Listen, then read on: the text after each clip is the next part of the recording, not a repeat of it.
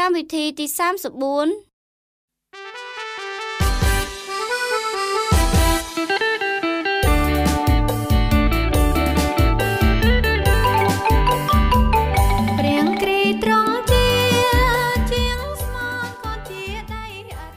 ឥឡូវនេះសូមបានលោកអ្នកជួបជាមួយនឹងលោកគ្រូម៉ងបានណាបាដែលលោកគ្រូនឹងនិទានរឿងស្ដីអំពីព្រះយេស៊ូវត្រាស់ហៅសាវក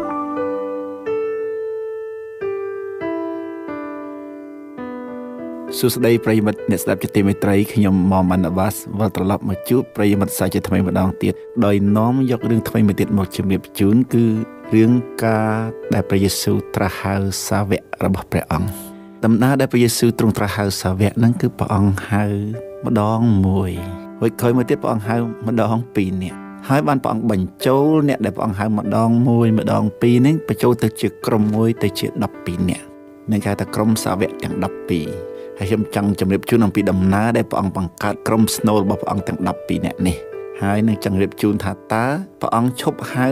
សិស្សត្រឹមតែ12នាក់ឬក៏ព្រះអង្គនៅតែហៅបន្តទៅទៀតដំណើររឿងនេះចាប់ដើមដំបូងគឺព្រះអង្គទ្រង់យាងទៅជួបនឹងមនុស្សម្នាក់អ្នកនោះឈ្មោះថាភីលីបហើយភីលីបនឹងគាត់ជាអ្នកស្រុកអ្នកភូមិជាមួយនឹងអង់ត្រេនិងលោកពេត្រុសដែររឿងនេះឃើញនៅក្នុងយ៉ូហានចំពុក1ខ43និងខ44នៅថ្ងៃបន្ទាប់មកទៀតព្រះយេស៊ូវសពផារតី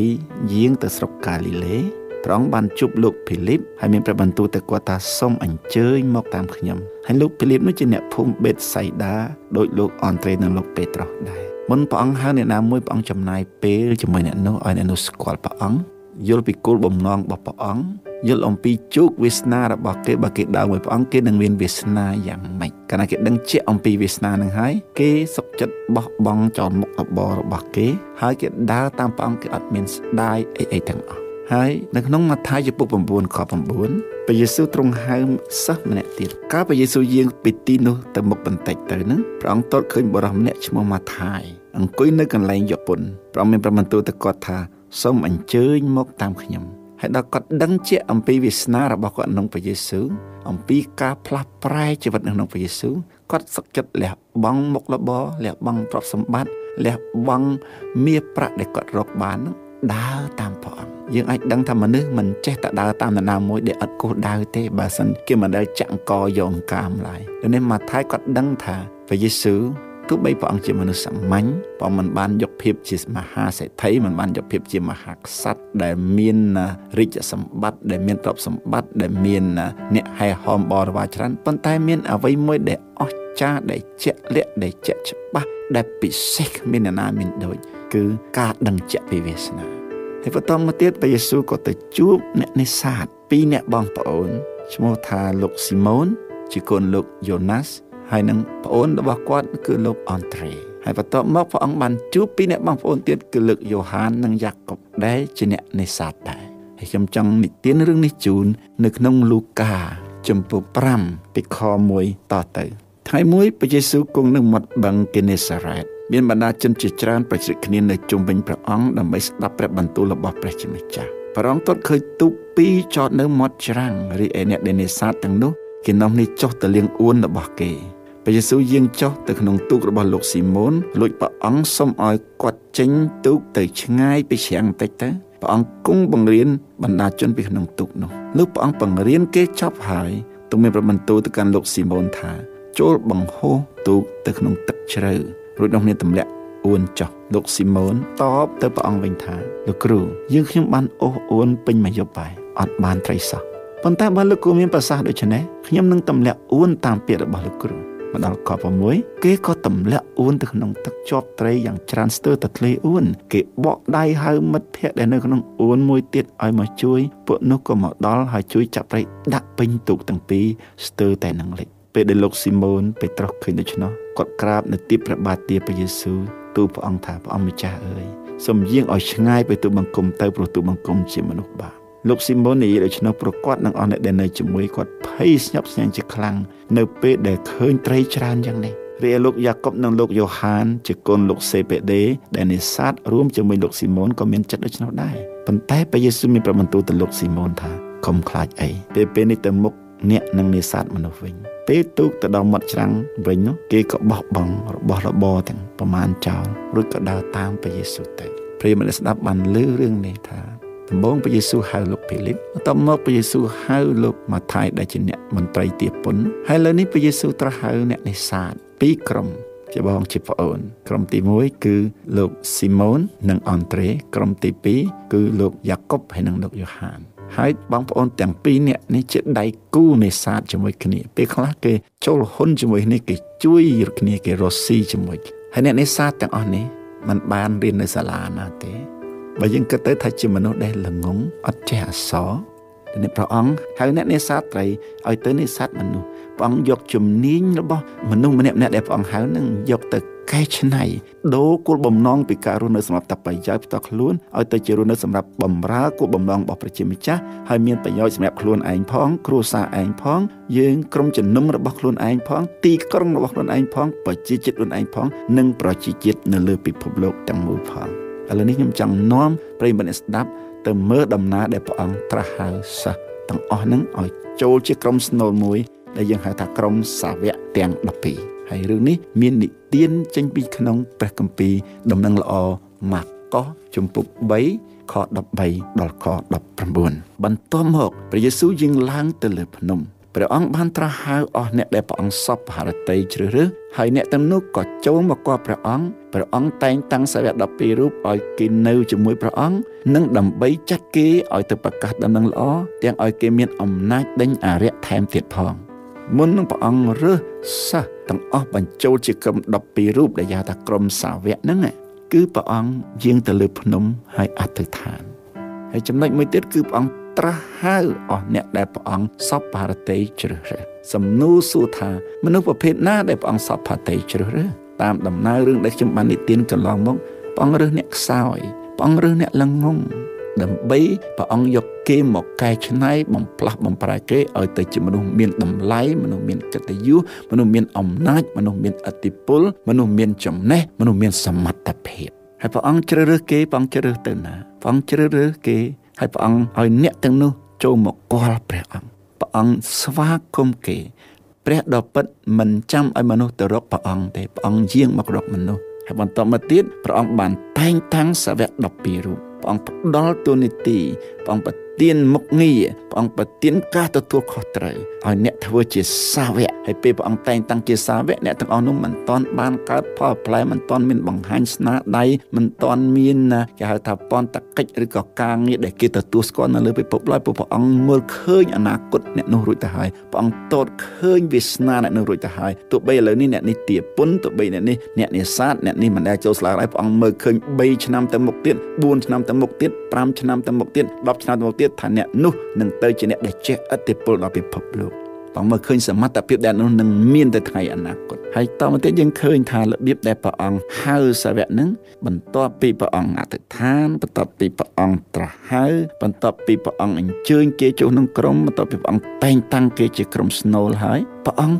គង់ជាមួយគេហើយគេរស់នៅជាមួយព្រះអង្គ ព្រះអង្គអត់គ្រាន់តែហៅមកធ្វើការជាមួយទេព្រះអង្គហៅគេមករស់ជាមួយមករៀនជាមួយ មកដើរជាមួយ មកហែលការសុខការទុករួមសុខរួមទុកជាមួយ មកទទួលរធិនភាពពីព្រះអង្គមកទទួលសេរីរុងរឿងពីព្រះអង្គមកទទួលកិត្តិយសពីព្រះអង្គហើយទទួលការលំបាកជាមួយព្រះអង្គដែរហើយដល់គេនៅជាមួយព្រះអង្គហើយគេស្គាល់ព្រះអង្គគេស្រឡាញ់ព្រះអង្គកាន់តែខ្លាំងទើបព្រះអង្គចាត់គេឲ្យចេញទៅប្រ កាសដំណឹងល្អប្រកាសដំណឹងរីករាយប្រកាសដំណឹងនៃក្តីសង្ឃឹមដំណឹងនៃក្តីសុខសាន្តដំណឹងនៃក្តីសុចរិតដែលបានកើតមកដោយសារជំនឿហើយមិនតែប៉ុណ្ណោះ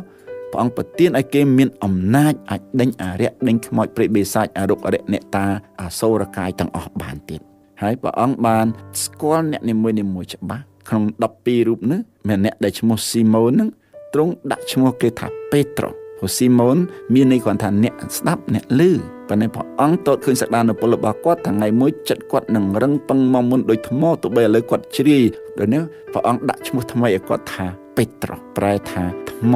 ប្រែថាសិលាអ្នកឯងនឹងរឹងប៉ឹងមកមុនទៅថ្ងៃអនាគតហើយម្នាក់ទៀតនោះគឺយ៉ាកុបហើយអ្នកទី3នេះគឺយ៉ូហានជាប្អូនយ៉ាកុបហើយយ៉ូហាននឹងសុភាពរំទុំប៉ុន្តែព្រះអង្គតតឃើញថាគាត់នឹងងាយនឹង មានកំណត់ចង់សងសឹកកណាធ្វើអីមិនបានសម្រេចចិត្តតែចង់ដាក់ទោសគេចង់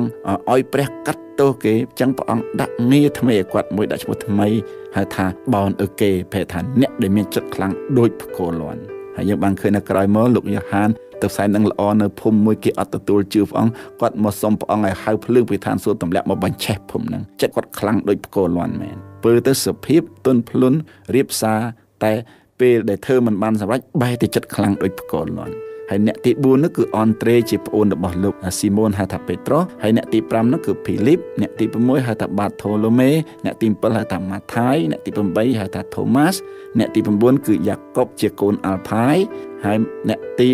10គឺលោកថាដេអ្នកទី11ស៊ីមុនអ្នកទៀតតែជាអ្នកជាតិនិយមជាអ្នកនយោបាយជាអ្នកប្រឆាំងនឹងចក្រភពរ៉ូម៉ាំងអ្នកប្រឆាំងនឹងរបបប្រស្ដេចហេរ៉ូតហើយ អ្នកទាំងអស់នេះធ្លាប់ប្រឆាំងនេះពីមុនដូចស៊ីម៉ូនអ្នកចិត្តនិយមធ្លាប់ប្រឆាំងជាមួយម៉ាថាយជាអ្នកទាពុនស្អិលលើនេះតលាក់ដើរលែងប្រឆាំងបែរជារស់នៅក្នុងបព្វធម៌សន្តិភាពសុខដុមរមនាជាមួយគ្នាពររាជរបស់ព្រះអង្គគឺសេចក្តីសុខសាន្តសេចក្តីសុចរិតនិងអំណរក្នុងព្រះវិញ្ញាណបរិសុទ្ធហើយអ្នកទី12នេះគឺយូដាសអេសការ៉ាយ៉ុតដែលក្រោយមកក្លាយទៅជាសាវកអ្នកដែលក្បត់ព្រះអង្គប្រិមត្តអ្នកស្ដាប់ជាទីមេត្រីខ្ញុំបានជម្រាបជូនអំពីរបៀបដែលព្រះយេស៊ូវចិត្តជ្រើសរើសសិស្សរបស់ព្រះអង្គ ហើយប្រវត្តិសាស្ត្របានកត់ត្រាទុកថាក្រោយពេលព្រះយេស៊ូវសគត់ហើយទ្រង់រស់ឡើងវិញទ្រង់យាងទៅឋានសួគ៌វិញព្រះអង្គបានជួបសាវកព្រះអង្គទាំង11រូបព្រោះលោកម្នាក់ដែលក្បត់ព្រះអង្គគឺយូដាអេស្ការីយ៉ុតបានសម្លាប់ខ្លួនតាមក្រោយ